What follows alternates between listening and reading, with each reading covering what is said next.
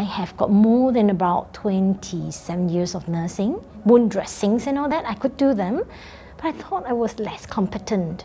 And I thought I need something that would help me. So that's why I think, oh, this course is definitely for me, you know. And I'm very confident with the way that Monash runs curriculum. And importantly, I intended to do it by research. So it fits me and I'm working it out. I don't quit my job, you know, less income. This is online. I can do it at my own time. And the best part is you choose the topic you want to do and the module you wanted to do. I have a mature family even though I have got four children, but three of them are four-legged. It makes it easier for me to do it after work. So I'm full-time working, part-time studying, I can manage that way.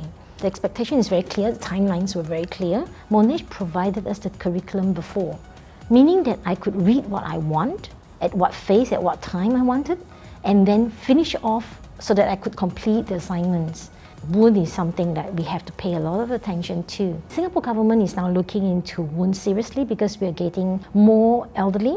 So we know that diabetes is a, is a battle that we are battling. So we'll have more people who end up having some ulcerations from diabetes, from chronic diseases. It's a worldwide thing, and I think Singapore is not spared. We are trying to brace ourselves up to prepare ourselves for it. In the future, if people are more armed in wound care, you don't have to admit them. They could be managed in, like, for example, high-risk clinic, you know. Uh, more of those, and more people are more aware of how to manage wound out in the community. So I think it's an important topic to have. Knowledge is power. I think I love the most when I could share my knowledge. This is my second master. I wanted to do it to enjoy it. I want to do it because I think this is my dream, you know.